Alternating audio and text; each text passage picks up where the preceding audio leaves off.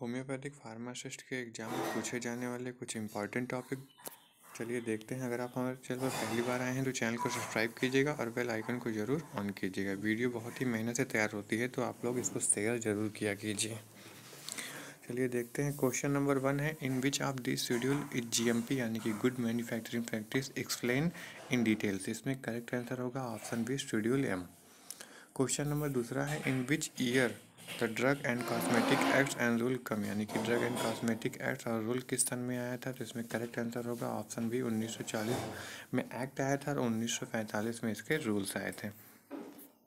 Question number तीसरा देखते हैं। Homoeopathic manufacturing draft was notified on इसमें करेक्ट आंसर होगा आपका ऑप्शन सी 2 अगस्त 2005 को होम्योपैथिक मैन्युफैक्चरिंग ड्राफ्ट आया था।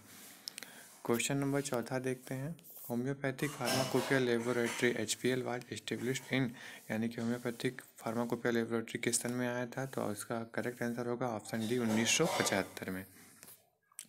क्वेश्चन नंबर पाँचवा है, rule eighty five C and thirty A A covers manufacturing of कौन से को कवर करता है? जिसमें करेक्ट आंसर होगा आपका option A, new homoeopathic drug को ये कवर करता है।